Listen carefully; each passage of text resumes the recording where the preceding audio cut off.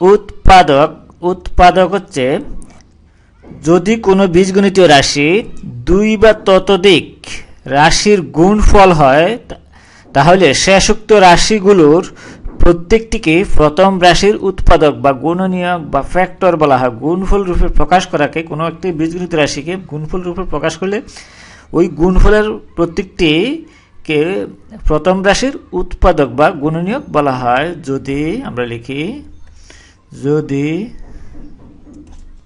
যদি কোনো বীজগণিত রাশি দুই বা তত ততোধিক বা দুইয়ের অধিক হলে রাশি গুণফল হয়, কোন একটা রাশি যদি দুই বা ততোধিক রাশির গুণফল হয়, তাহলে ওই রাশির প্রত্যেকটি উপাদানকে কি বলা হয়?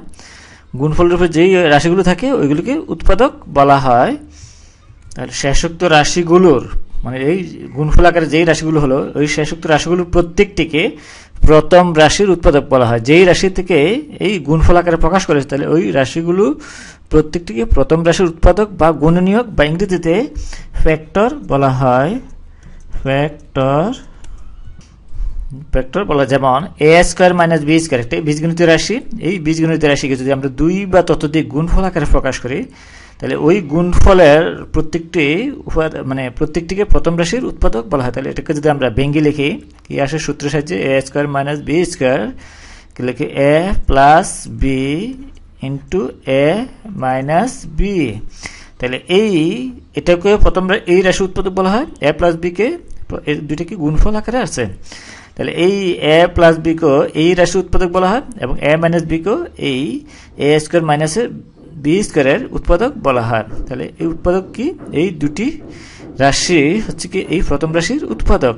তাহলে গুণফল আকারে যদি কোনো বীজগণিত রাশি দুই বা ততোধিক, দুই বা ততোধিক হ্যাঁ দুটি গুণফল রূপে প্রকাশ করা হয়েছে প্রথম রাশির, তাহলে এই প্রত্যেকটিকে প্রথম রাশির, এই প্রথম রাশির, এই প্রত্যেকটিকে প্রথম রাশির উৎপাদক বলা হয় বা গুণনীয়ক বা ফ্যাক্টর বলা হয়। উৎপাদকে বিশ্লেষণ, অর্থাৎ উৎপাদকে বিশ্লেষণ, যখন কোনো বীজগণিতীয় রাশিকে সম্ভাব্য দুই বা ততোধিক সরল রাশির গুণফল রূপে প্রকাশ করা হয়, তখন উৎপাদকে, একে উৎপাদকে বিশ্লেষণ করা বলে।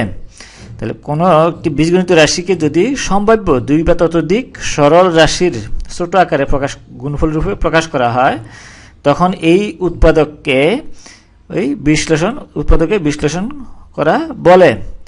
ওই সরল রাশিগুলোর প্রত্যেকটিকে প্রথম রাশির উৎপাদক বলা। ওই সরল রাশিগুলো কি হচ্ছে? প্রথম রাশির উৎপাদক বলা যেমন আমরা যদি X square X square plus two X, এটাকে যদি আমরা উৎপাদকে বিশ্লেষণ করি, কি করতে হবে? এই প্রথমে আমরা এক্স দুইটার সংখ্যা থেকে কমন নিলে কি হয়?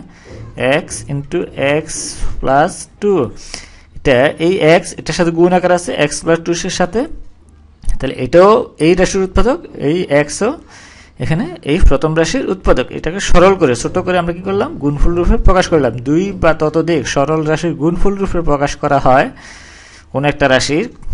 এই রাশিটার সরল রূপে প্রকাশ করলে এটা হয়। তাহলে এই রাশিটা হচ্ছে কি?